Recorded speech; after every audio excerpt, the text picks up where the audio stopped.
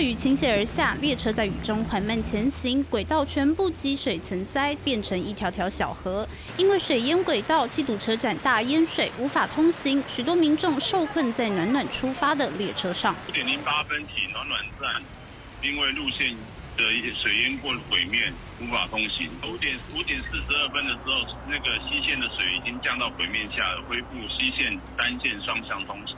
山区啊，你有树叶、树枝，大水直接下来，无法度排对吧？最大一做一个该下来。晚间基隆市发布豪雨特报，许多地方传出淹水。而在暖暖车站外多处路段，因为雨势太过强烈，围墙边水流像是小瀑布，路面也全被淹没，变成河道。